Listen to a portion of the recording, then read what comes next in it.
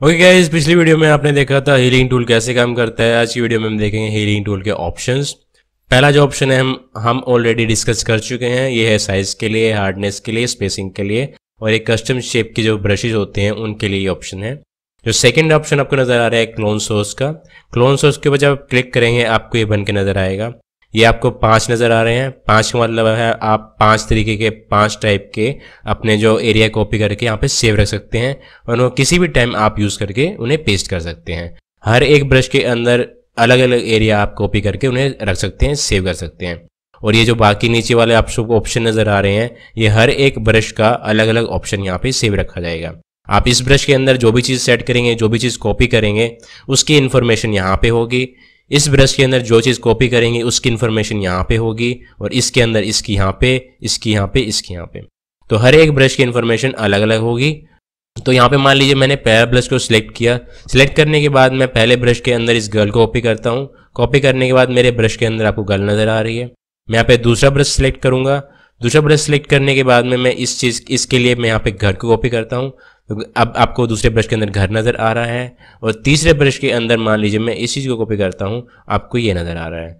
तो पहले ब्रश के ऊपर जब क्लिक करें तो गर्ल नज़र आएगी, दूसरे ब्रश में घर नज़र आएगा, तीसरे ब्रश में ये पानी नज़र आएगा। इस तरीके से आप चौथे और पाँचवें ब्रश के अंदर भी किसी भी तरीके के एरिया को कॉपी करके सेव रख सकते हैं बाद में इस्तेमाल करने के लिए।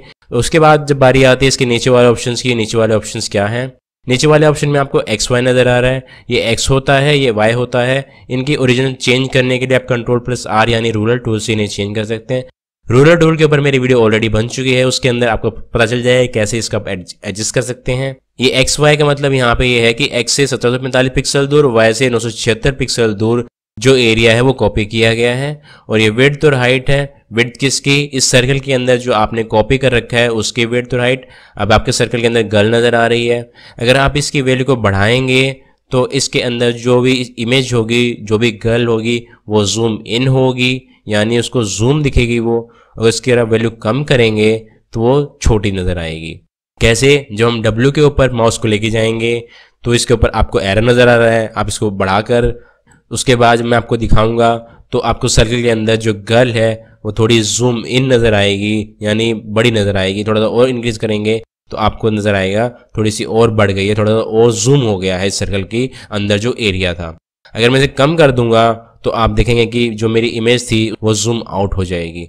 तो इससे आप वैल्यू को बढ़ाकर और कम ज़्यादा करके, आप अपने सर्कल के अंदर जो इमेज होगी, जो भी ऑब्जेक्ट होगा, उसे जूम इन और जूम आउट कर सकते हैं। ठीक है और इससे आप अपनी जो विथ और हाइट है, उनकी रोटेशन चेंज कर सकते हैं। पहले मैं इसको छोटा कर देता हूँ थोड़ा सा। अभी वो गर्ल जो है, वो सीधी नज़र आ रही है। अगर मैं इसे होरिजोनटली पलटना चाहता हूँ तो मैं इस पर क्लिक करूँगा। अभी आप देख सकते हैं इस गर्ल की जो चोटी है, वो राइट की साइड में है। जब मैं इस पर क्लिक करूँगा तो उसकी जो चोटी है, वो लेफ़्ट साइड में आ जाएगी। ये होरिजोनटली फ्लिप करने के लिए है। और मैं इस पर क्लिक करूँगा तो वर्टिकली फ्लिप होगी। मैं इस पर क्लिक करूँगा तो वो गर्ल जो है, वो उल्टी हो जाएगी इस तरीके से। अब मैं आपको दिखाता हूँ ये वर्टिकली और हॉरिजॉन्टली कब काम आते हैं। मैं इस पर क्लिक करूँगा, इसे सेव करूँगा। सेव करने के बाद मैं यहाँ पे क्लिक करूँगा और फिर मैं इसे नीचे लेके जाता रहूँगा। तो आपको समझ में आ जाएगा कि कब काम आते हैं। देखिए इस तरीके से। अब हमने इसको यहाँ से भी कॉपी कर दिया है। तो ये अब इसकी परछाई नज़र आ रही है। हम इसे टेढ़ा मेढ़ा भी कर सकते हैं। अब आपको यहाँ पे एंगल बन के नज़र आ रहा है। इस एंगल का मतलब है कि हमारे सर्कल के अंदर जो भी चीज़ होगी, उसे हम रोटेट भी कर सकते हैं। हमारी गर्ल अभी सर्कल के अंदर जो है, वो सीधी है। मैं इसे रोटेट कर सकता हूँ। जब मैं इसके ऊपर माउस लेके जाऊँगा एरो बन के आएँगे। फिर क्लिक करके हम आगे लेके जाएँगे तो वैल्यू बढ़ जाएगी। और आप देखेंगे तो सर्कल के अंदर गर्ल थी, वो टेढ़ी हो गई है। अगर मैं इसे थोड़ा इस साइड कर देता हूँ तो हमारी जो गर्ल है, वो इस साइड रेडी हो जाएगी। तो अपने सर्कल के अंदर जो भी ऑब्जेक्ट होगा, उसकी रोटेशन को चेंज करने के लिए, उसे घुमाने के लिए आप इसका इस्तेमाल कर सकते हैं। उसे जूम इन जूम आउट करने के लिए आप इनकी वैल्यू को बढ़ा, घटा बढ़ा सकते हैं और इन्हें ऊपर नीचे फ्लिप करने के लिए आप इन दोनों का इस्तेमाल कर सकते हैं।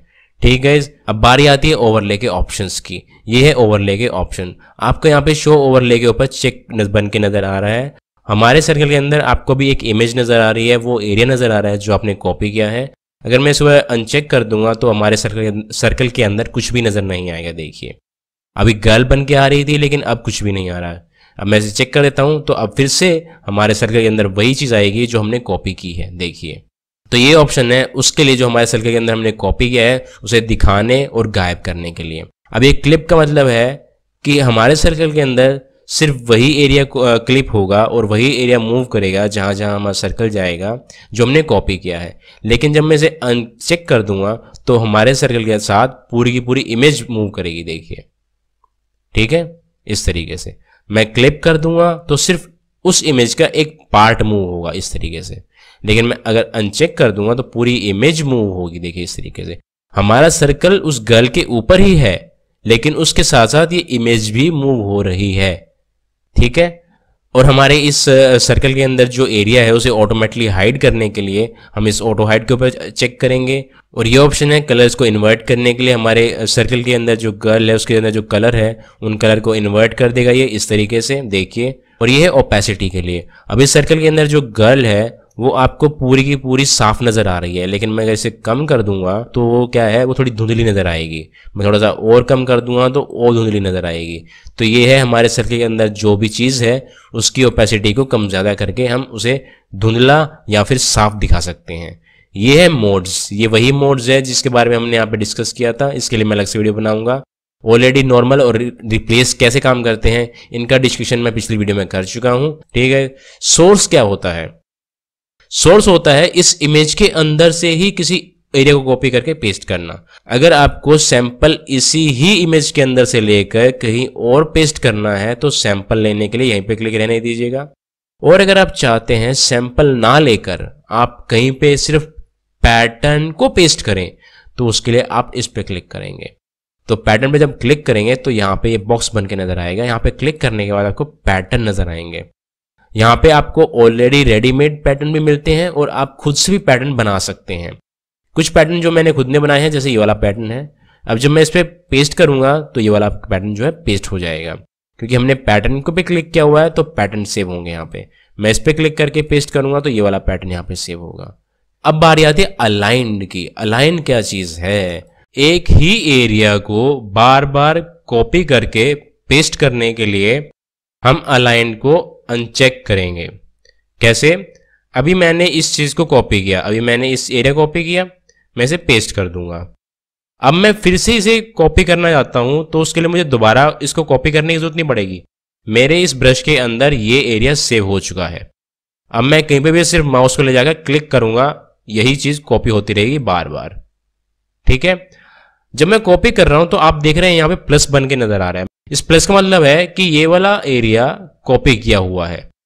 और ये प्लस यहीं पे रहेगा, क्योंकि अलाइंड जो है, वो अनचेक है। और मैं इसी एरिया को बार बार कहीं पे भी पेस्ट कर सकता हूँ। मैं इस पे पेस्ट करूँगा तो आप देख रहे हैं, यहाँ पे फिर से प्लस बन के आ रहा है। मैं जहाँ पे भी पेस्ट करूँगा, ये प्लस यहीं पे रहेगा, क्योंकि हमने यही एरिया कॉपी किया हुआ है।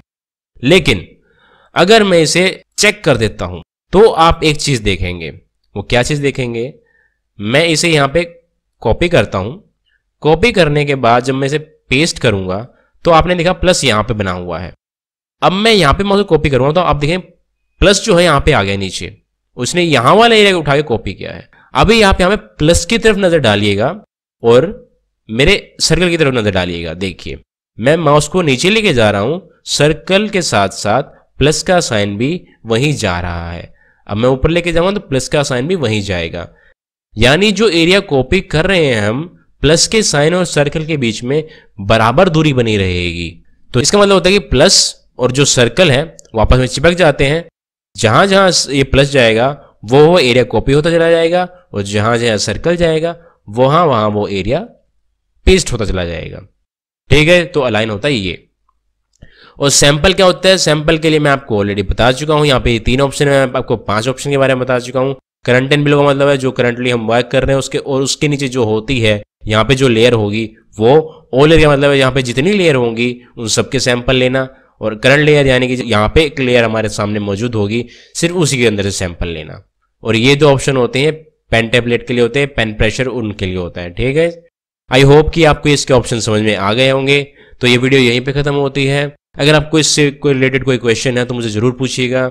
अगर आपको ये वीडियो पसंद आई हो तो इस वीडियो को ज़रूर लाइक कीजिएगा, इस वीडियो को ज़रूर शेयर कीजिएगा। मेरे साथ जुड़े लिए धन्यवाद। मिलेंगे नेक्स्ट वीडियो में। Thank you guys thank for watching bye bye